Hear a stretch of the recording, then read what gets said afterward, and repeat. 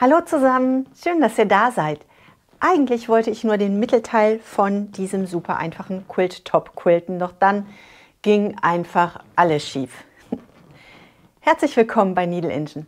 Mein Name ist Elke und wir legen los.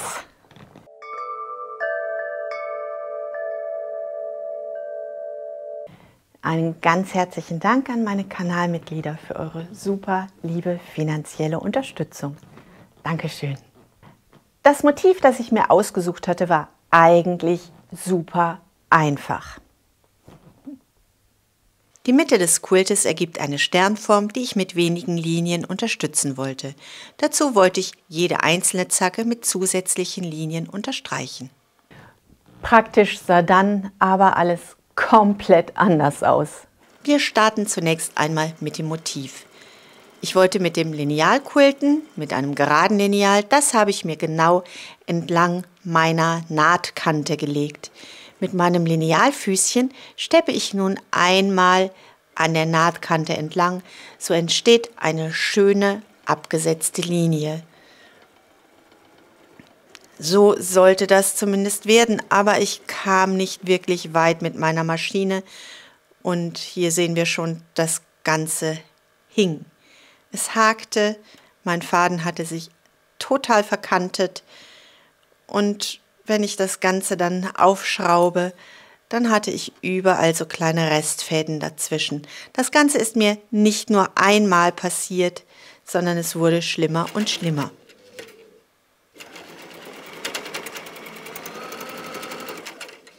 und es klang ganz furchtbar.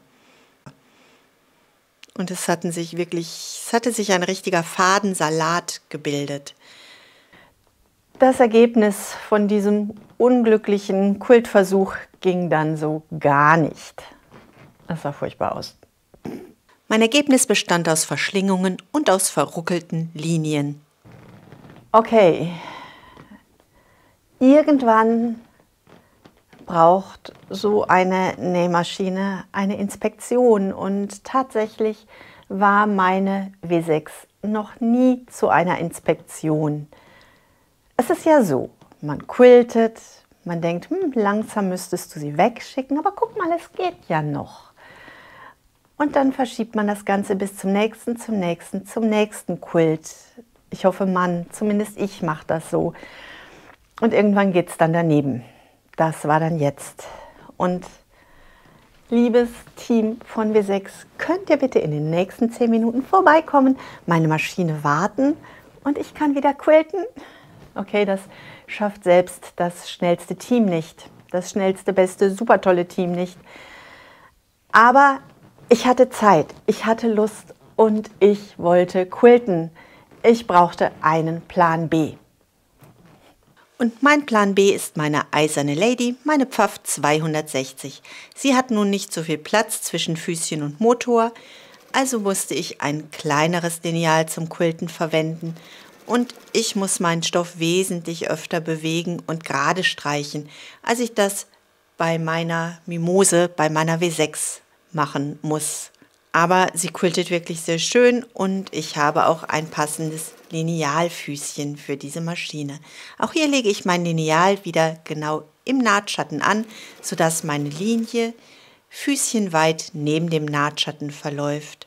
Das ist ein Universal-Lineal-Quiltfüßchen mit einem kurzen Hals und einer breiten Bohrung, sodass ihr das an ziemlich viele Maschinen ansetzen könnt und ihr könnt über die breite Bohrung den Druck den ihr auf euer Quilltop ausüben möchtet, um ein gutes Ergebnis zu erzielen, selber bestimmen.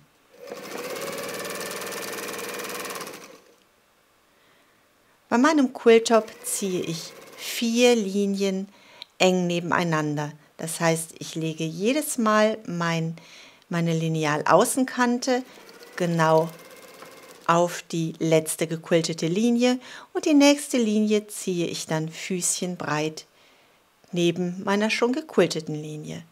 Nach vier Linien setze ich die nächste Linie mit einem Zentimeter Abstand. Ich lasse also die 1 Zentimeter Linie über meine letzte gequiltete Linie laufen. Und zum Abschluss quilte ich noch eine Naht mit einem 2 cm Abstand, sodass die 2 cm Linie über meine letzte Quiltnaht läuft. Bei meinen kleineren Zacken starte ich direkt mit einem Abstand von einem Zentimeter und ziehe dann einen zusätzlichen Abstand von zwei Zentimeter über die Mitte. Das Ganze arbeite ich einmal rundherum. Ich schneide meinen Faden ab und schaue mir meine Misere noch einmal von der Rückseite an. Da ich mit einem sehr deutlichen Faden gequiltet habe, der sich auf meinem dunklen Rot gut abhebt, sind meine Fehler sehr, sehr deutlich zu sehen. Und da sind wieder die Fehler vom Anfang. Und ich möchte das Ganze nicht komplett auftrennen. Ich möchte einfach nur diese Fehlerstellen beheben, die ich an ganz unterschiedlichen Ecken habe. Zunächst einmal habe ich diese Mittellinie, die ganz schucks und schief geworden ist. Die möchte ich nicht jedes Mal wieder trennen, sondern ich gehe einfach hin, kulte wieder auf der Vorderseite, ziehe eine gerade, gerade gesteppte Linie erneut über diese krumme, schief gequiltete Linie bis zum höchsten Punkt. Hier ändere ich einmal meinen Stich. Ich nehme einen kleinen Zickzackstich, 2 mm breit und mit diesem 2 mm breiten Zickzackstrich quilte ich wieder zurück. Ich möchte später bei dem Quilt noch mehrere Dinge in Zickzack quilten, sodass das ganz wunderbar zu meinem Quilttop passt. In der Mitte bei meinem Quilttop laufen alle Nähte zueinander das ist ziemlich eng und wenn man das nicht wunderbar und hundertprozentig gut gepatcht hat, hat man da eine wirklich dicke Stelle. Also nähe ich um diese dicke Stelle einfach einen Zickzackkreis, sodass ich das Volumen an dieser Stelle noch einmal betone und das zum Thema mache. Und ich sortiere. Ich sortiere permanent den Stoff, denn ich habe ja nun diesen kleinen Durchlass, mit dem ich hier zurechtkommen möchte aber es funktioniert. Wenn ich jede Mittellinie noch einmal gequiltet habe, schaue ich mir mein Ergebnis erneut von der Rückseite an. Ich habe die betonten Linien und ich habe ganz viele Stellen, die einfach nicht vernünftig gequiltet sind. Ich habe mehrere Linien übereinander und bei mehreren Linien übereinander hat man meistens den Vorteil, dass Nahtanfang und Nahtende doppelt gesichert ist, sodass ich die doppelte Linie, die ich gar nicht möchte, einfach entfernen kann.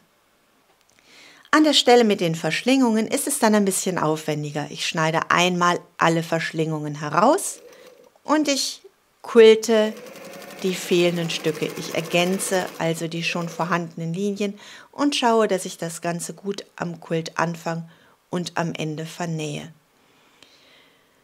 Meine Quiltvorderseite, die sieht sehr unruhig aus, sodass all die Fehler, die einem auf der Rückseite direkt ins Auge springen, auf der Vorderseite überhaupt nicht zu sehen sind. Und die Vorderseite gefällt mir so schon sehr gut. Und die Rückseite wird folgen. Die letzten Linien, die ich nun noch entfernen möchte, damit das Ganze auch von der Rückseite vernünftig aussieht, die werde ich entfernen, wenn mein Quilltop komplett fertig ist. Dann werde ich mich unter meine Decke kuscheln, werde mir meinen Nahttrenner schnappen, eine leckere Tasse Kaffee dazu und ganz gemütlich, Schritt für Schritt, werde ich all die Linien entfernen, die mich noch stören. Aber erst, wenn das Quilltop fertig ist. Und ich wünsche euch nun eine wunderbare Woche. Bleibt gesund und glücklich und denkt daran, was immer auch passiert. Einfach weiter quilten. Bis zum nächsten Mal. Tschüss.